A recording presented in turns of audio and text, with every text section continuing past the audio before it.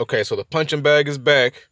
He needs some attention. But before I get started, this is just going to be kind of a basic video. So if you can handle a zombie trying to sell you the fake ball earth or the fake ass moon moonlander, you should be okay. But this, when they show this guy right here, the, the damn grease ball, I always got to get at him. Okay, got your 33 over here. Okay, looking like the arches.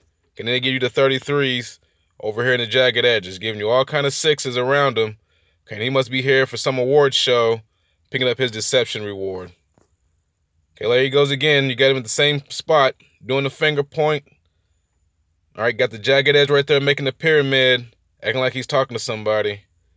All right, I did again, doing the Baphomet sign at you this time. Okay, both hands.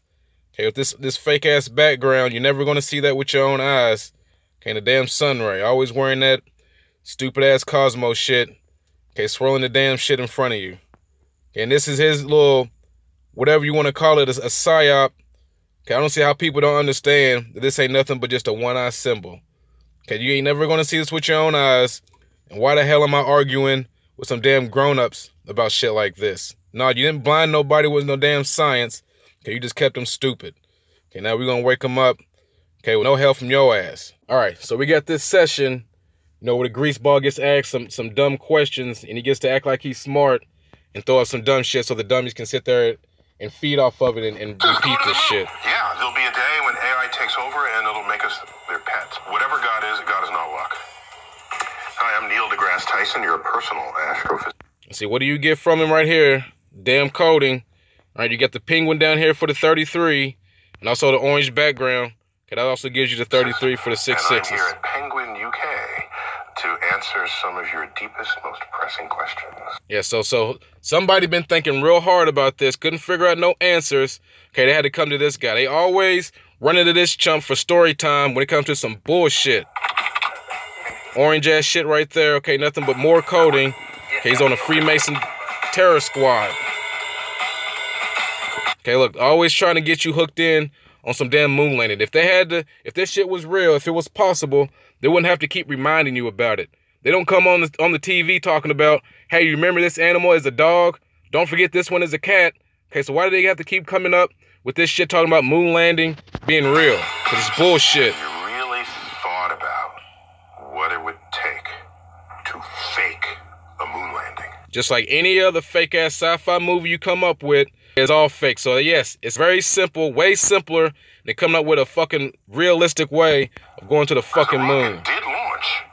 We all saw the rocket launch. Yes, just a rocket for your damn weather manipulation. Fucking around with that shit. Probably caused a hurricane somewhere. Okay? So there's hardware there. They're they're like office buildings of blueprints for the design. Okay, so where are the damn offices? Where are the blueprints? Did what did you bring some? Okay, so you're just talking some more bullshit. Anybody can sit here and fake up a whole bunch of damn phony ass blueprints. Some dumb shit. Of, of engineering hours that went behind this and the records Yes, a whole bunch of engineering hours to fake some damn blueprints. of those designs. If you wanted to fake the moon landing, you have to fake all of these documents. With this dumbass look on his fucking face to think he's really making someone think about this shit. Ain't nobody curious about a fake ass moon landing. Okay, they gonna fake some documents. They can fake a whole bunch of other shit. Okay, that they throwing right in front of us. This fake ass moon landing And and Mars. It's way easier to just go to the moon. And you see how he can't stop fucking laughing when, when people ask these dumbass questions? And it just Just mocking me your ass. It's way easier to just go to the moon. Has anyone considered that? Yes, yes. See, I, I'll consider that it's easier to fake some shit than to really go. That's why they always got to keep asking this fuck nut, okay, about some shit that's that's supposed to be real. Just laughing at your ass. Just go to the moon. That's easier than faking all of You see how he does it? Just telling you it's easier to go to the moon than just to fake some shit. He just faking some shit, and he's gonna tell you he's a fucking So, liar. uh, no, but yeah, we went to the moon. Here we go with the climate change. Always and another damn psyop talking about climate change and relocating to another planet like you just moving next door or some shit. So climate change will not make Earth uninhabitable. Climate change will make Earth a living hell. In fact, I live in New York City, where in our harbor we have the Statue of Liberty, and there she is holding the. And he's always bringing up this damn Baphomet Statue of Liberty, okay, for some reference on, on how high some water's gonna fucking get. And, and her left arm and her right arm is the torch. If you melt the water ice that's on on land, the ocean level will rise to reach her left elbow. So that takes out. Then why ain't this shit melted yet? Talking about all these years and millions of years of this shit just sitting there, and all of a sudden it's just gonna start melting. Okay. City that we've spent thousands of years building uh, the, since the dawn of civilization. So life will be very, very different. So the way I look at it is, uh, there there are people who want to colonize other planets, give us an escape route. Like who? Well, what what scientist is pushing that dumb shit? Okay, and what dummy, what dumbass zombie is following behind that that whack ass shit? It's a damn psyop.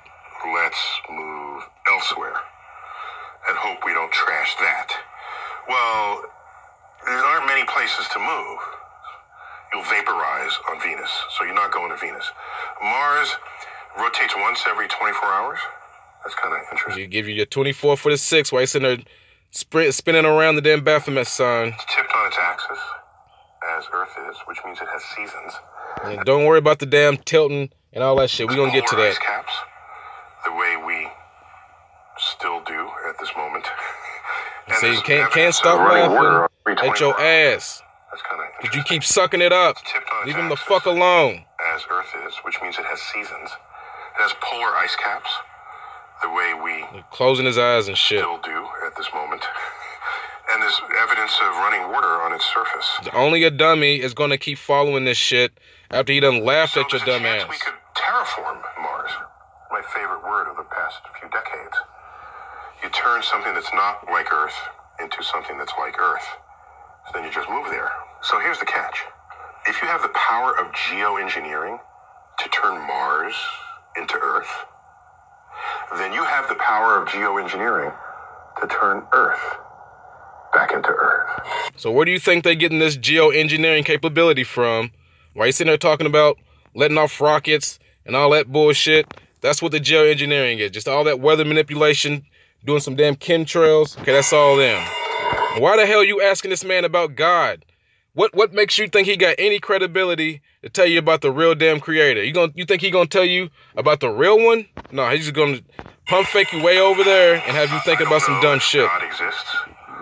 Deeply He don't even know shit about God being existent. Okay, but he's gonna still keep flapping his fucking people are certain he exists.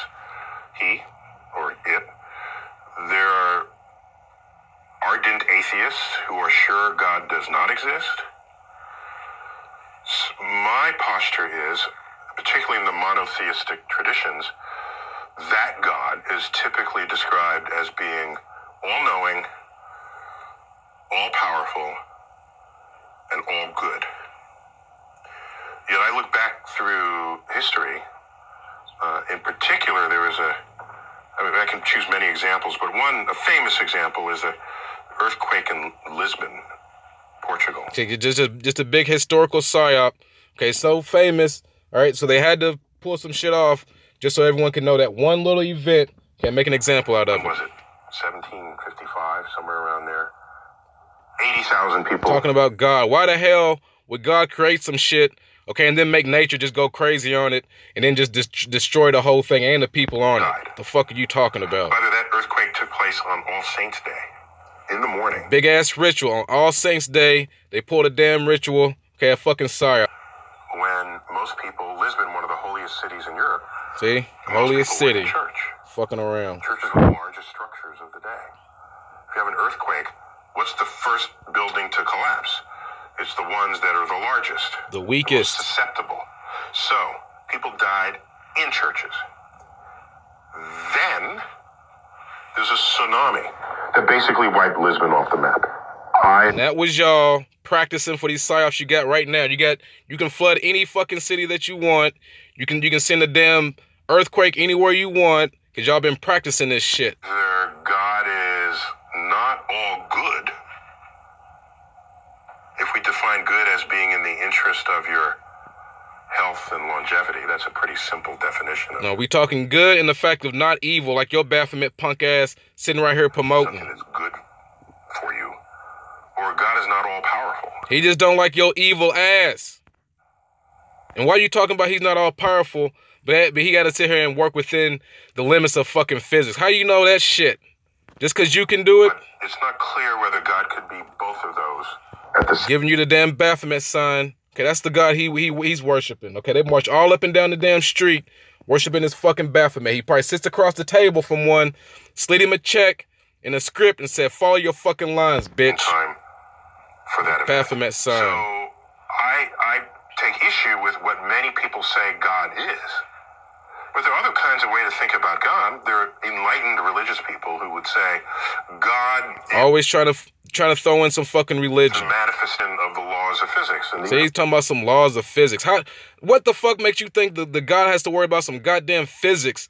Okay, when you can't even fucking do some shit with some damn physics. When you when the hell your ass went out to the Astros and did some fucking physics? I have a problem Talking about some astrophysicist. You a fake motherfucker. Is. God the person who tells you who you should mate with and on what and what day you should eat what kind of food and what who you know is that your God? That's different from this other one that maybe just sort of put the universe into place.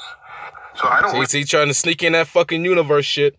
Ain't no fucking universe. concern myself much with it unless someone finds a way that any understanding of God can give me insight into making another discovery. That hasn't happened yet. See, oh, see, look at that. A new discovery. What are you trying to discover? Name something that you need to discover. Some some weird shit. What kind of fucking miracle do you need to see? Um, there are many people who will, Talking shit. see things happen to them that are. Keep reading your fucking script, So bitch. someone's looking over me. So that's a that's a fascinating phenomenon when that happens. And what when you analyze those situations, it's The fucking grease ball. Stop listening to this fucking grease ball. Get him up out your fucking brain. Get him off your fucking table. He's nothing but a damn saturated fucking fat. Talking a whole bunch of bullshit. Killing your fucking brain. what you find is is that we as humans simply have a profound inability to understand statistics and probability. It's So really he goes from fucking God to talking about statistics. Listen to this shit. Listen to this shit. Uh, it's a quick experiment. Line up a thousand people and give them a coin and have them flip the coin. Yes. And if whoever gets tails, tell them to sit down. So it's about half. So 500 people left. So he gonna tell you about half. So how do you know exactly half the people gonna flip one damn coin? How do, I mean, come on, man. Repeat it. 250 people left. In 125, 60, 30, 15, 8, 4, 2, 1. This is that's a thought experiment. So Yes, and you and you talking stupid because you're trying to make it seem like exactly half the people gonna do one or the other. This is this is garbage. half the people sat, approximately half the people sat down every time they flipped the coin. Half of them get heads, half get tails. There's one person that's standing at the end. That person flipped heads 10 consecutive times. Does the press go to? The press goes to that person and say, how do you feel about this? Well, I felt that heads energy about halfway through, and I kind of knew I was going to win. I felt, I, I saw heads on the thing. And did they interview anybody else who might have felt exactly the same way, but didn't flip heads 10 times in a row? Because they're on their way home now. They're not there for the interview. So we're thinking that this guy had some kind of clairvoyance about his fate, or that, he prayed, or whatever. And so Shut this stupid ass shit up. You talking about a fucking contest one time, and you gonna sit here and bring in clairvoyance and all this, this this fucking religious shit, talking about a guy gonna worry about you flipping a fucking coin. Whereas every time you Shut do this experiment, basically, somebody flips heads 10 times in a row. Somebody. It's not gonna be the same fucking person, especially if you're just eliminating all the fucking tails. That's so stupid. Somebody's gotta win. And so we don't know how to handle coincidences or things that are rare for you, even if they're common in total. So, yeah, no, whatever God is, God is not luck. Yeah, it's just talking some dumb shit, man. We can demonstrate that mathematically. You don't have to do no damn fucking math. Damn, they, they, they just keep on getting stupider and stupider. I'm not all that worried about artificial intelligence and robots taking over the world. But almost everyone I know who's an expert in it, they're worried. Because they're a dumb fucking person. Who? What? Who, how are you going to be an expert on some AI and be scared of the motherfucker? You the one that's controlling that shit. I'm reminded of The dumbest shit this motherfucker is talking about. author of many great science fiction novel about. And then he goes to some fucking science fiction book, and you you got to be reading a fucking script right there, bitch. Talking about some science fiction, you go from some real shit. and, and other stories. Fucking stories, weak ass motherfucker. Criticized. Someone asked him, Ray, why do you have all these apocalyptic, futuristic stories? Is this what you think we have in store for ourselves? And he says, I don't write these because I think that's what our future will be. I write these stories so that you know what future to avoid. And I said, Ooh, that's deep. Yeah, that that shit right there is fucking deep for this dumb. You see how fucking dumb this guy is? Talking about some sci-fi shit that he's talking about is supposed to be real. So, the fact that we've had our share of films that show computer intelligence taking over, I think it's. Taking over what? What the fuck? Is, uh, so the computers hacking each other? Then you ain't got to worry about a person hacking you. The computers, they just walking around. They just transmitting information back and forth to each other. You ain't got to worry about no person pushing no button. Okay, all right. and a little bit of spooking shit. is a good thing. It means you'll move forward.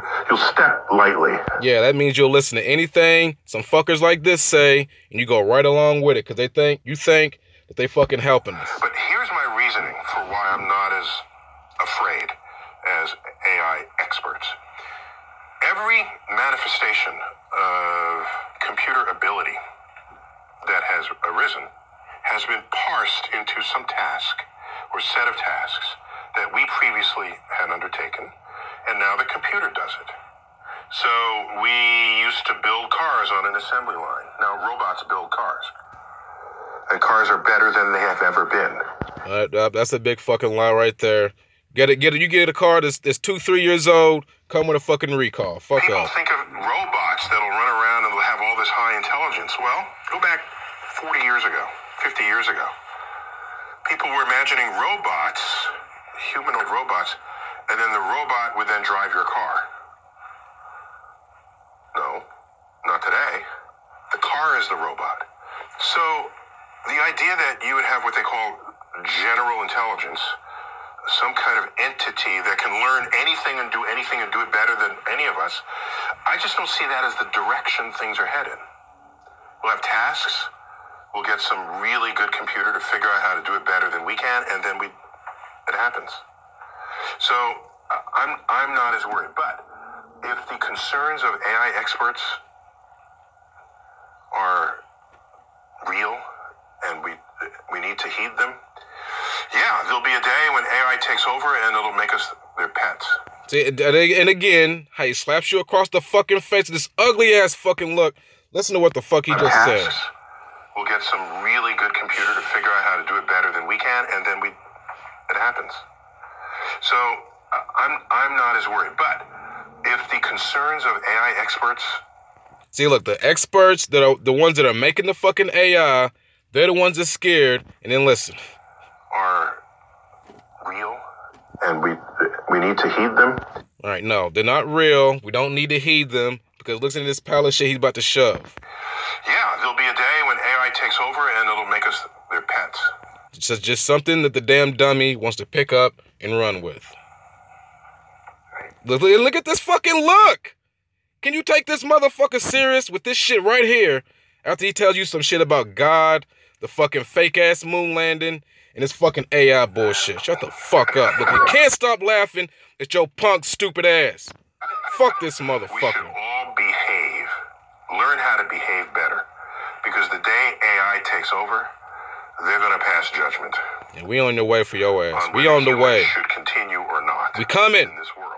They're rendering all these other animals extinct. They're destroying the environment. They can't even be shepherds of their own fate. So, yeah, they'll just exterminate us all. Yeah, that's exactly what the fucking robot was. You sn- snickering in your face again. Can't stop fucking laughing at your dumb asses. Who's listening to this motherfucker? Who the fuck is referring to this piece of shit?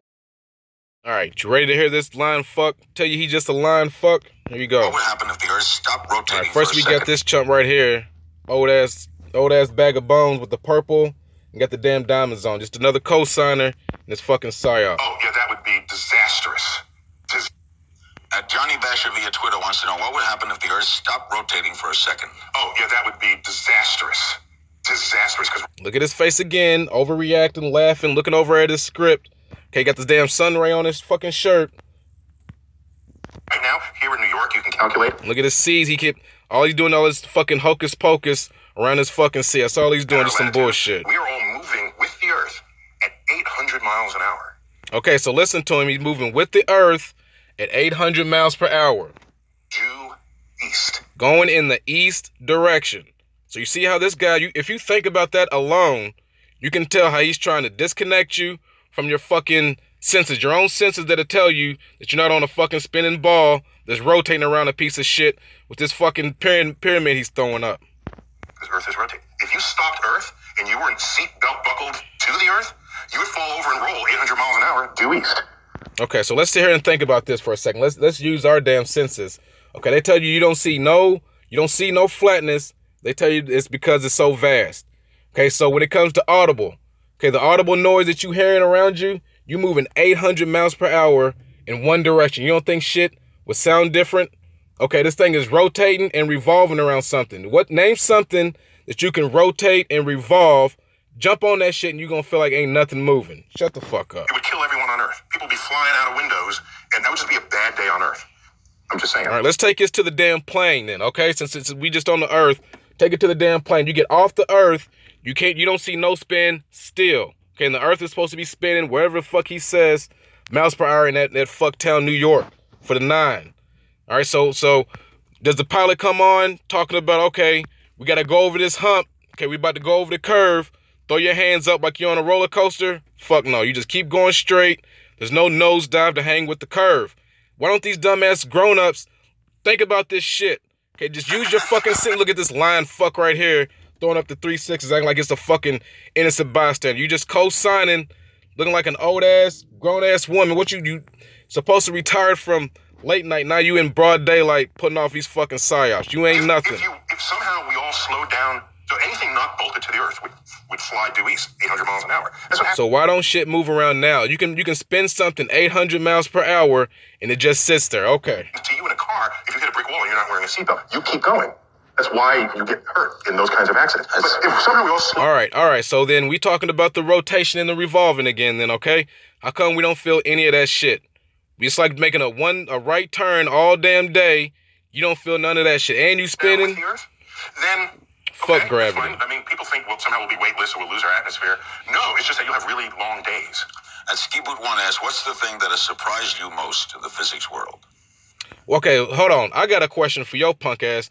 When have you ever gone out into the Astros and done some fucking physics your damn self, or did you just read a fucking book the whole time? Why are you asking this chump about some fucking world. physics shit? Uh, I'm surprised. ain't went nowhere and did no fucking physics. Just read a book, got slapped with a piece of paper called a diploma, and the programming comes on. answer there. I'm surprised that the United States could lead the world in particle physics for most of the 20th century and then just abandon that leadership. Now, the most powerful particle accelerator is in Europe at CERN, the, the Center for.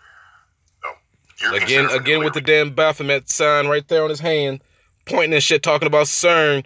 Okay, another ritualistic bullshit they got out there. The damn statue, research, the Shiva, representing spelled they bullshit. spelled CERN. They're ahead of us. And, and they, that is that particle accelerator that found the God particle, the famous Higgs boson. And we're Always looking with the God particle. Okay, creation, destruction. Okay, they didn't find no fucking across the pond particle. Saying, oh, can we do? A a few of our scientists are on the project, but we're not the leaders of it. So what surprises me in physics that we could, by vote of Congress, cede that leadership that quickly. And I'm, I'm astonished. I wonder what country am I living in? It's not the one I grew up in. It's something different. I know it's a cop out answer, but that's how I Oh, feel. and Danger Dave seven twenty three tweets: What obstacles do we have to overcome in order to facilitate interplanetary travel? All right, I got another damn question for you. Where the fuck is that space elevator you was talking about with that dumb shit? How come everybody's asking him about this shit that ain't never happened, ain't never gonna happen? He was talking about the space elevator. Where the fuck is that at? Okay. You know, if Voyager just left the solar system, you know, if Voyager just. What obstacles do we have to overcome in order to facilitate interplanetary travel? Oh, okay. You know, if Voyager just left the solar system, He can't stop laughing at your ass. What obstacles do we have to overcome in order to facilitate interplanetary travel? Oh, okay. You know, if Voyager just left the solar system. Uh, the Voyager spacecraft was in all the news a few weeks ago, traveling fast. All right, and it's at this boundary between the sun's influence and the galactic influence. And so you can say, well, if you if you hitched a ride on that, how long would it take you? Because it's been going for 40 years. How long would it take you? Wow, it's been going for 40 years. And it ain't got. It's only in between the sun and the fucking Earth. Okay. To get to the nearest star. The nearest star. So I wonder what kind of damn camera graphics that thing's gonna have. It's been sitting around for 40 years. Okay. In a galaxy that has 100 million stars in it. Excuse me, 100 billion stars in it. 100 the nearest billion. star takes 40,000 years.